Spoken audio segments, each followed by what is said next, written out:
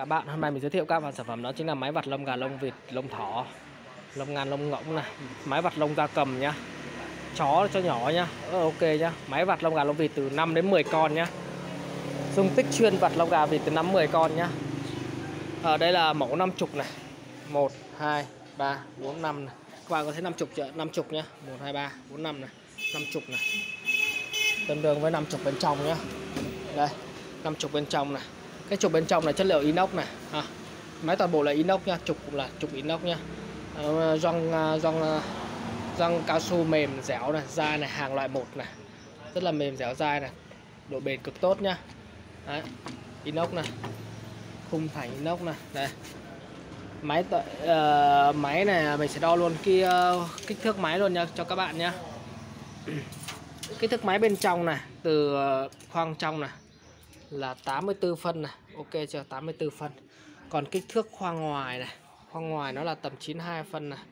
Đấy khoang bên ngoài nhá. Hai thành bên ngoài là 92 phân nhá. Đấy. À, chiều ngang này chiều ngang bên ngoài từ phía đến trên đỉnh này. 92 phân này. Van van tiếp nước này. Van xả nước bên trong buồng trong này ha. Còn à, cái chiều sâu này chiều sâu uh, chiều sâu từ ờ, thành máy này về phía sau này.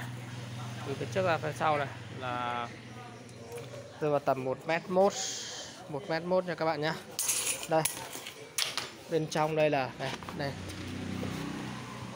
đấy bên trong là khoang vặt này. Đấy à, núm vặt bên hông này. Đấy hông đỡ này vặt này. Đấy. Ok chưa? Đấy xúc đây là tất cả bản bộ máy này súp bằng tư này dày dặn và chắc chắn này Đó. Đó. Đó. máy có bốn bánh xe nhá bốn cái bánh xe để đẩy nhá à, ờ, kích thước chiều cao máy nó rơi vào tầm để mình đo luôn nhá cho các bạn nhá kích thước chiều cao máy nó là một mét này Đấy. Máy có bốn bánh xe đẩy này. À.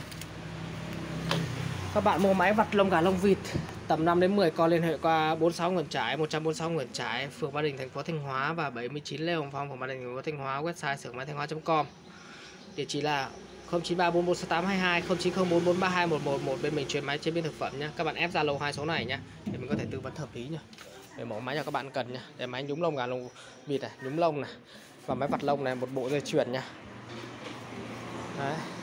Bên mình có rất nhiều loại máy này. Ha. Cảm ơn các bạn rất là nhiều. Đấy.